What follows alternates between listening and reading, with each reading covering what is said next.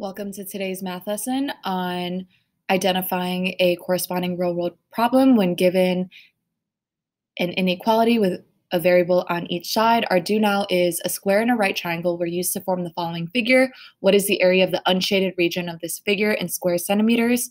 So we're going to first start off with writing out the formulas for each of the shapes. So we have a triangle,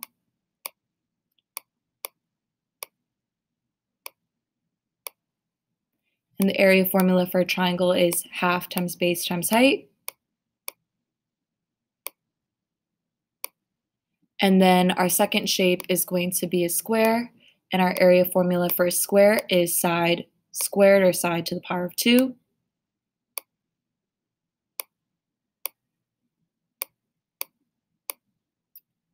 So then we're going to solve for the area of the triangle.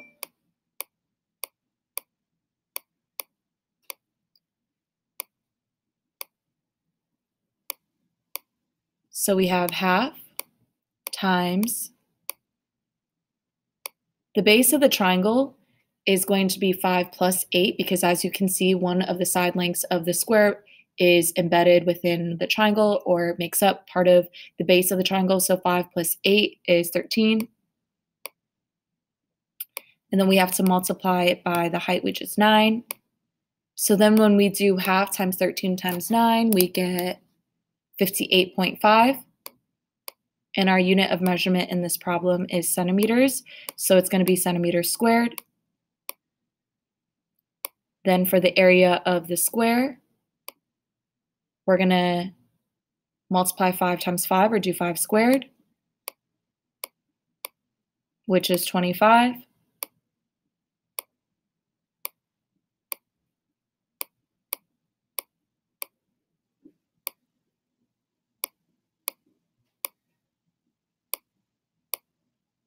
Centimeters squared. And now we can find the area of the unshaded part.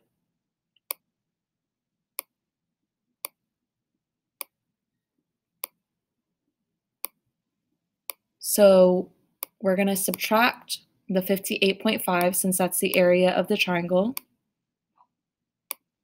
by the 25 since that's the area of the square that's embedded within the triangle.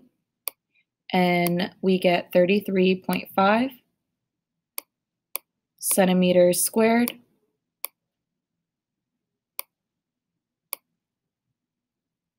And that is our answer. Today's TEK is 8.8b. Our lesson target is I will write a corresponding real world problem when given a one variable inequality with variables on both sides of the equal sign using rational number coefficients and constants. Our DOL is given two questions. We'll answer it with 100% accuracy. So in 3x plus 2 is greater than x plus 10, our coefficients are 3 and 1. Even though we don't see the 1, we know that in front of every variable there is a 1 if there's not another number. Our coefficients are considered our variable cost. Another word for them is a unit rate or slope. Variable meaning to change.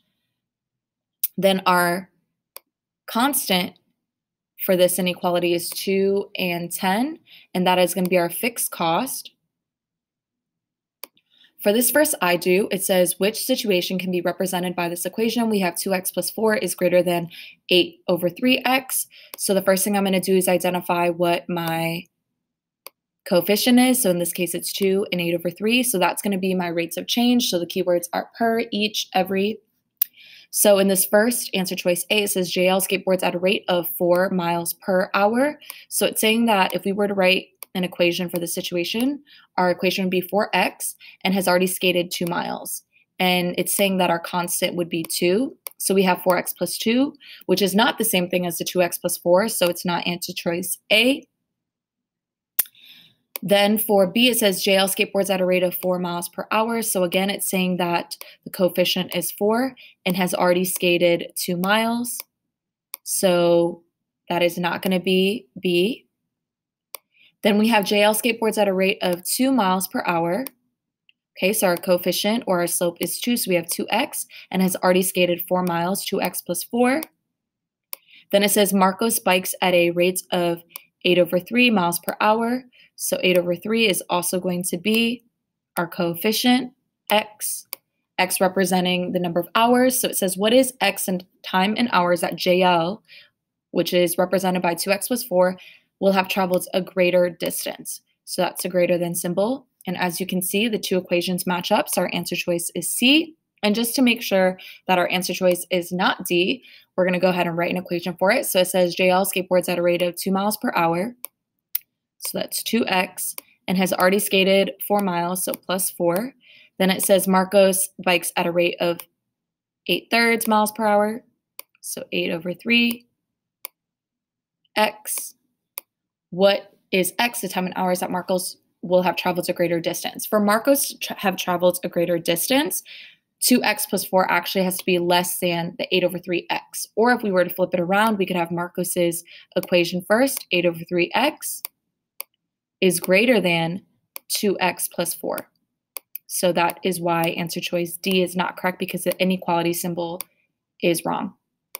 For this next IG problem, we have to figure out which situation can be represented by this equation, 2x plus 384 is less than 6x.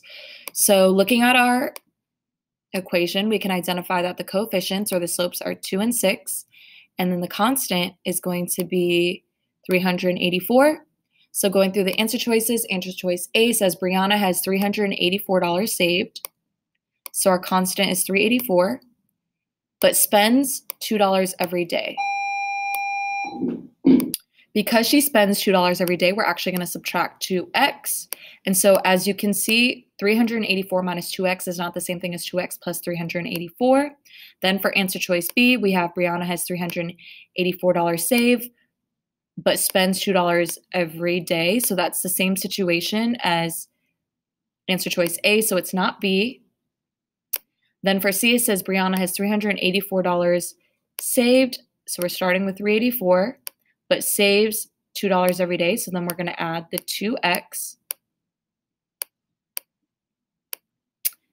And then it says Bria saves $6 every day. So then we have 6x.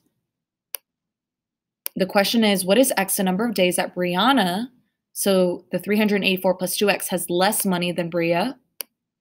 And as you can see, 384 plus 2x is the same thing as 2x plus 384 is less than 6x. So our answer choice is C. Just to make sure, Brianna has $384 saved and saves $2 every day. So that's 384 plus 2x. Bria saves $6 every day. So that's 6x. Then it asks, what is x the number of days that Brianna has more money than Bria? So that should be greater than. So the reason that D is not correct is because the inequality symbol is not correct. After completing the we do's as well as you do's, you have your two question DOL. Thank you so much for following along in today's lesson and see you in the next math video. Bye.